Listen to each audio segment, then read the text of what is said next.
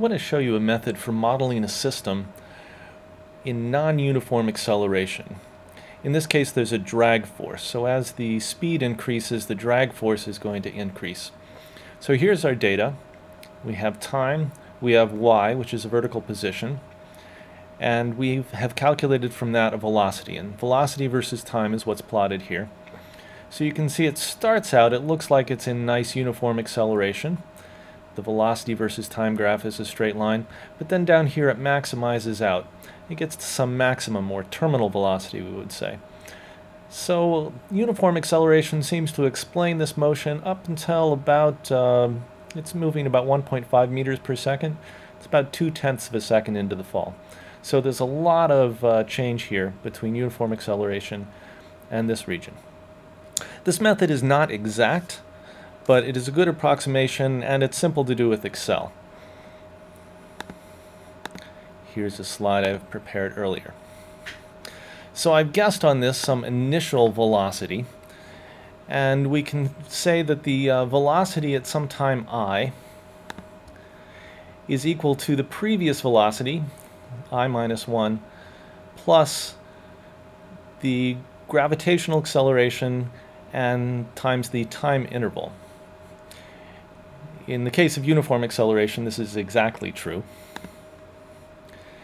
And so you can see this velocity I've calculated, this is with no drag force, it simply increases every time step. Let's take a look at uh, what's calculated here. So d3 is the previous velocity, that's the v sub i minus 1. h2 is the gravitational acceleration, and h4 is the time interval. This is actually uh, just calculated from here. You could do it other ways. And you can see each of these steps increases. Notice that I'm using the dollar signs here for absolute cell references. So I wrote this equation in this cell, and I was just able to copy it down.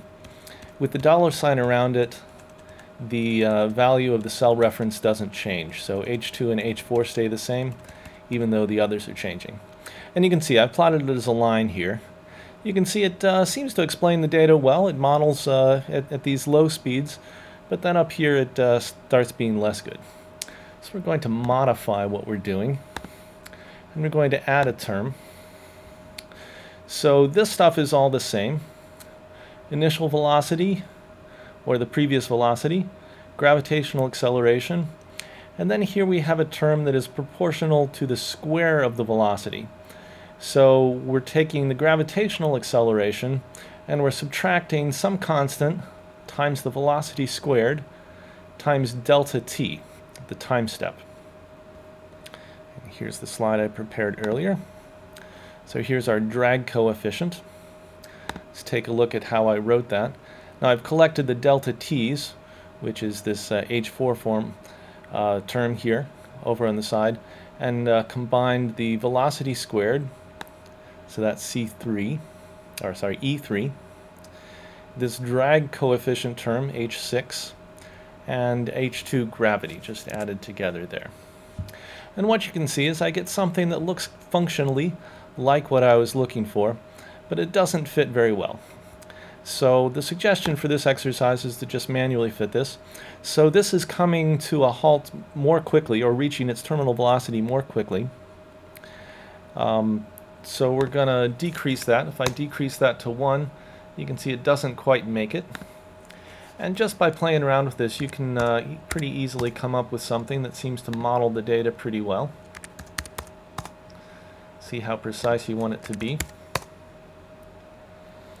and you've modeled the drag coefficient.